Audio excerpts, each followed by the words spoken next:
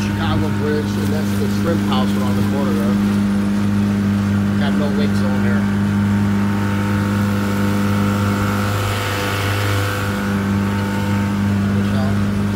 We're going back to the loop.